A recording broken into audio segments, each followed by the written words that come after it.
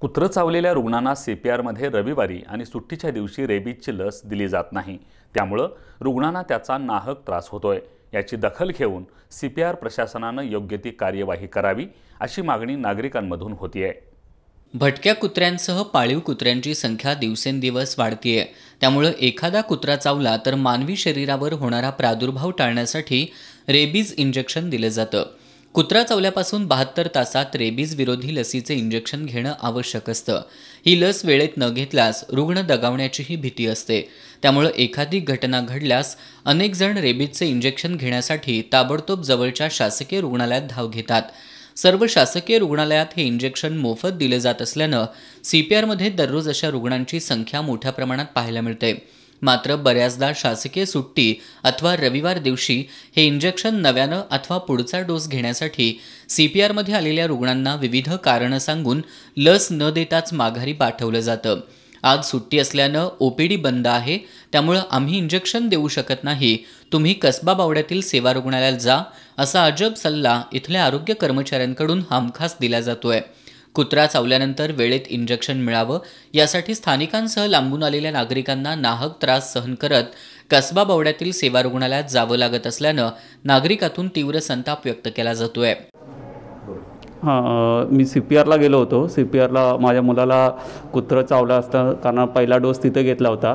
आज सकाळी C P आरला गेल्यावरती मला सांगितलं की इथे सेवा आज मिळणार नाही तुम्हाला. तुम्ही सेवा रुग्णालयाला जाऊन त्याचं इंजेक्शन घ्यावं. मी सदर पाचगाववरनं आलो आहे आणि खूपच लांब म्हणजे तिथली सेवा म्हणजे तिथल्या तिथे द्यायला पाहिजे होतं पण त्यांनी काही दिलं नाही.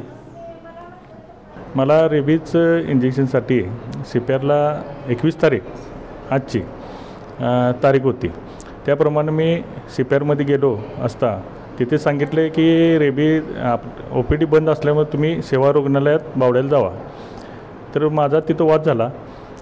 म्हणजे तारीख देऊनसुद्धा तुम्ही देत नाही इमर्जन्सी असते तर काय करणार? तर खेडेगावा किंवा इकडनं येणाऱ्या लेडीज किंवा लहान मुलं तर ती सेवा रुग्णालयात कशी पोचतील इकडं इमर्जन्सी असल्यावर? तर मी आता सेवा रुग्णालयात येऊन आता माझं इंजेक्शन घेतलं आहे आज माझं पूर्ण झालं तर दोन मागच्या रविवारी पण मागं रविवारी पण आणि ह्या रविवारी पण. तिथं कोणतीही सेवा उपलब्ध नसते. ते सेवा रुग्णालयावर ढकलली जाते. त्यामुळं इकडं जवळ पत्ता नाही. की लांबून माणसं इकडे कसे येतील? वास्तविक पाहता अशा घटनांसाठी सी पी आरसह सर्व शासकीय रुग्णालयात आकस्मिक विभाग चोवीस तास सुरू असतो. इमर्जन्सी असणाऱ्या रुग्णांवर ताबडतोब उपचार करणं गरजेचं असतानाही ताबडतोब उपचार न करताच रुग्णांना अजब सल्ले सी पी आरमधून मिळत आहेत त्यामुळं सी पी आर प्रशासन याची गांभीर्यानं दखल घेऊन रुग्णांना दिलासा देणार का असा प्रश्न नागरिकातून उपस्थित केला जातोय.